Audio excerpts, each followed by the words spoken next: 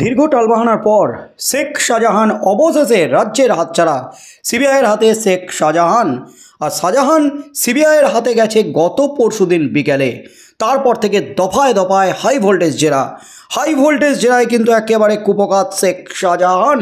আর অবশেষে আজ মুখ খুললেন শেখ শাহজাহান এই মুহূর্তের সবচেয়ে বড় খবর।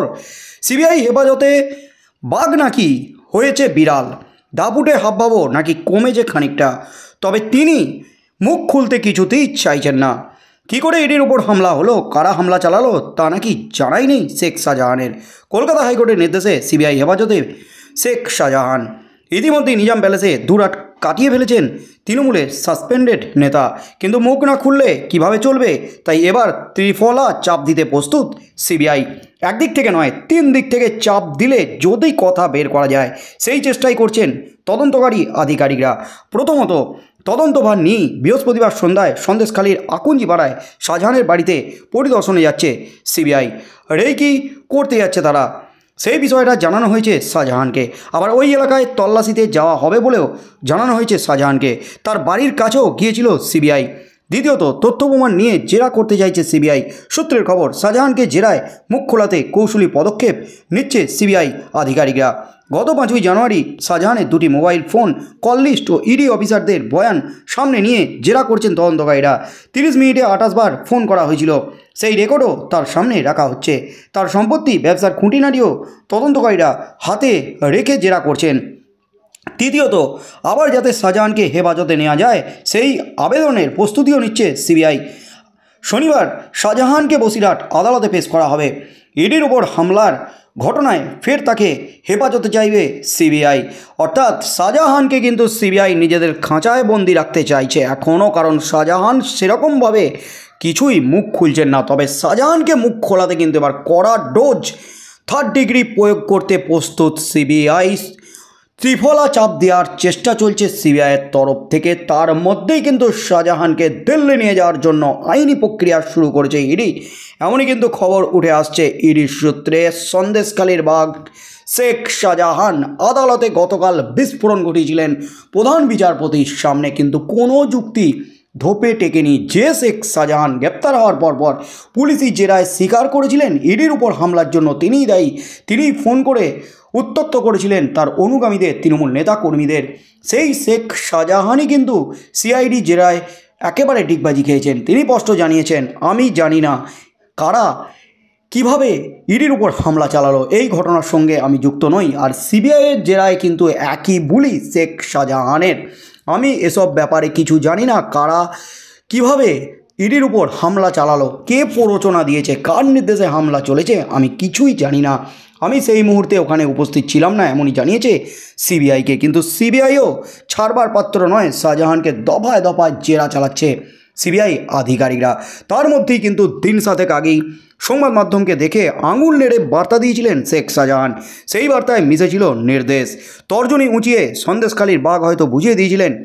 তিনি কোনো কথা বলবেন না। এক সপ্তাহ পর সেই শাহজাহানই মুখ খুললেন। শুক্রবার সংবাদ মাধ্যমকে দেখে সিবিআই কর্তা এবং নিরাপত্তারক্ষীদের ঘেরাটপ পেরিয়ে আচমকা ছুড়ে দিলেন কয়েকটা কথা। বুধবার রাতে সিবিআই হেফাজতে যাওয়ার চব্বিশ ঘণ্টা পর শাহজাহানকে মেডিকেল পরীক্ষার জন্য জোকার ইএসআই হাসপাতালে নিয়ে যাচ্ছিল সিবিআই। সেখানেই সংবাদ মাধ্যমকে দেখে প্রথমবার মুখ খুললেন শাহজাহান। যা বললেন তার অর্থ তিনি সুবিচার আশা করছেন, তবে ইডি, সিবিআই, পুলিশ বা আদালতের কাছে নয়। শাহজাহানের সেই কথায় আশার থেকে বেশি নিরাশাই চোখে পড়েছিল। ছাপান্ন দিন নিখোঁজ থাকার পর গত বৃহস্পতিবার রাজ্য পুলিশের হাতে গ্রেপ্তার হয়েছিলেন শেখ শাহজাহান, প্রভাবশালী তৃণমূল নেতা। সেদিনই তাকে আদালতে তোলা হয়। কয়েক মিনিটের শুনানি শেষ করে শাহজাহানকে নিয়ে যখন বেরিয়ে আসছে পুলিশ বাহিনী, তখন বাইরে শাহজাহানের সঙ্গে কথা বলার জন্য অপেক্ষা করছিল সংবাদ মাধ্যমের প্রতিনিধিরা। তবে শাহজাহান কথা বলেননি। ধপধপে সাদা কুর্তা, পাজামা এবং জ্যাকেট পরে গট গটিয়ে আদালত থেকে বেরোনোর সময় একটি বার সংবাদ মাধ্যমের দিকে তাকাননি তিনি। শুধু আঙুল নেড়ে কিছু বার্তা দিয়েছিলেন। শাহজাহান। সেই শাহজাহান শুক্রবার ঠিক কী করলেন? মেডিকেল পরীক্ষার জন্য রওনা হওয়ার আগে সংবাদ মাধ্যমকে দেখে শাহজাহান হঠাৎই বললেন, সব মিথ্যে কথা। এসব সাজানো ঘটনা। আমার সঙ্গে ষড়যন্ত্র হচ্ছে। এরপরই সন্দেশখালীর প্রভাবশালী নেতা বলেন, উপরওয়ালা এর বিচার করবেন। উল্লেখ্য, রাজ্যের তদন্তকারীদের হাত থেকে কেন্দ্রীয় তদন্তকারী সংস্থা সিবিআইয়ের হেফাজতে যাওয়ার পরই শাহজাহানের শরীরী ভাষা বদলেছে বলে মনে করছিল রাজনৈতিক মহলের একাংশ। নিজাম প্যালেসে আর গত বৃহস্পতিবারের ঠাঁট বাট দেখা যায়নি শাহজাহানের। উদাও হয়েছে ধোপদুরস্ত সাদা কুর্তা, পাজামা। বদলে গায়ে চেপেছে সাদা টি শার্ট ভাবভঙ্গিত দাপট এর লেস মাত্র নেই বলে মনে করছেন শাহজাহানের পুরনো পরিচিতিরা। প্রসঙ্গত, পাঁচই জানুয়ারি সন্দেশখালী সরবেরিয়ায় ইডির তদন্তকারীদের হামলার ঘটনায় তদন্ত করছে সিবিআই। শাহজাহানের দুটি মোবাইলের কল ডিটেলস এখন তদন্তকারীদের মূল হাতিয়ার বলে দাবি করছে সিবিআই। ওই ফোন দুটির তথ্য থেকে সেদিনের ঘটনা জড়িতদের নামের তালিকা প্রস্তুত করা হচ্ছে। যদিও জেলায় শাহজাহানের দাবি, তিনি কাউকে ফোন করেননি। তার বাড়িতে ইডি হাজির হলে তার ঘনিষ্ঠ নেতা অনুগামীরা তাকে ফোন করেছিলেন। আর তার মধ্যেই কিন্তু অবশেষে সংবাদ মাধ্যমের সামনে মুখ খুললেন শেখ শাহজাহান। আঙুল নেড়ে যে শাহজাহান দাপট দেখিয়েছিলেন। সংবাদ মাধ্যমকে স্পষ্ট বার্তা দিয়েছিলেন, তিনি মুখ খুলবেন না। বাদশার মতো গটগটিয়ে হেঁটে গিয়েছিলেন যে শেখ শাহজাহান। সেই বাঘ এবার সিবিআইয়ের হেফাজতে, আসতেই কিন্তু একেবারে বিড়াল হয়ে মেউ মেউ করতে লেগেছে। তিনি শুধু সংবাদ মাধ্যমকে বললেন, মিথ্যে কথা, উপরওয়ালা বিচার করবে। আমার সঙ্গে ষড়যন্ত্র করা হচ্ছে। আমি কোনো কিচ্ছু করিনি, আমি কোনো জমি কেড়ে নিইনি। এমনই কিন্তু জানাতে চাইলেন শেখ শাহজাহান। অর্থাৎ সিবিআই হেফাজতে কিন্তু একেবারে কুপকাত শেখ শাহজাহান। অবশেষে পাল্টি খেলেন শেখ শাহজাহান। একশো আশি ডিগ্রি পাল্টি খেয়ে এবার মুখ খুললেন শেখ শাহজাহান। কারণ জুজু, সিবিআই এবং ইডি, সিবিআই জেরা আটকাতে কিন্তু শেষ পর্যন্ত চেষ্টা করেছিলেন শেখ শাহজাহান। রাজ্য সরকারও চেষ্টা করেছিল শাহজাহানকে যাতে হাতছাড়া না করা হয়, শাহজাহান যাতে সিবিআইয়ের হাতে না যেতে পারে, একেবারে সুপ্রিম কোর্ট পর্যন্ত চলেছিল রাজ্য সরকার, কিন্তু সব চেষ্টা বিফলে গেছে। শাহজাহানের বিরুদ্ধে কিন্তু কড়া নির্দেশ, রাজ্যকে চরম নির্দেশ দিয়েছে সুপ্রিম কোর্ট, মামলা খারিজ করে দিয়েছে। শেখ শাহজাহান মামলা সুপ্রিম কোর্টের প্রধান বিচারপতির কাছে দায়ের করার জন্য নির্দেশ দিয়েছে। তার মধ্যেই কলকাতা হাইকোর্টের চরম নির্দেশে দীর্ঘ টাল ভাঙানোর পর অবশেষে শেখ শাহজাহান সিবিআই জেরায়। আর দু রাত কাটানোর পর কিন্তু বাঘ হয়ে গেল একেবারে বিড়াল বিড়াল হয়ে কিন্তু মেউ মেউ করছে শেখ শাহজাহান। শাহজাহান এবার যা বললেন তাতেই কিন্তু তোলপাড় পড়ে গেল রাজ্য রাজনীতিতে। দফায় দফায় জেরা করছে শেখ শাহজাহানকে। আগামীকাল আবারও শাহজাহানকে তোলা হবে আদালতে।